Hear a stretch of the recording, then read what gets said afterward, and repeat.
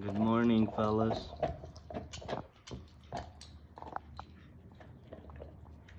Everybody got their bones working.